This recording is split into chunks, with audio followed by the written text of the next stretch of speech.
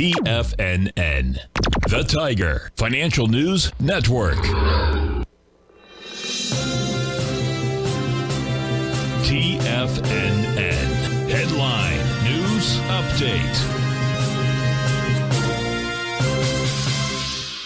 Good morning, everyone. On the 6th of February, this is Monday, the beginning of the week. And to start off the week, the Dow is down 157 at 33,765. Remember, we've been looking at this as if to say, uh, within this other rectangle formation right here, we could have a bit of an arch formation, digestive phase before we get to the next leg D.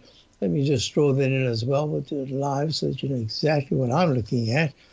Uh, we want to pull back, and that pullback, I think we've got a few days of a pullback. Yeah, if you look at all these different indices, look, the S&P, uh, we're always looking for uh, a buy signal to be upgraded to a buy mode to go to at least a D. And then you look at the left side, right side price, time match, symmetry of the bars, and you've got your S&P trading right now at uh, 41.15, uh, minus 21.53. It almost hit the 4,200. Let me just check the exact number. I should have put that in uh, 4195.44 on Thursday. Friday was down, so it made a peak. G C. There's a chance we could just pop to a leg D here, just as we did in, in gold. But in the meantime, I think there's a little digestive phase going on. Uh, this week, at least in the beginning of the week, looking at the QQQ, same thing, got a G stash C at 313.38 uh, three days ago uh, down $1.27 to 304.91, just digesting gains.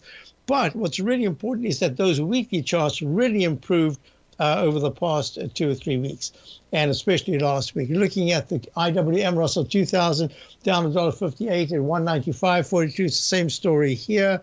Got very good support in the 192, 190 area if there's a, a pullback this week. Now, this is going to be very interesting because gold had a very sharp two day plunge.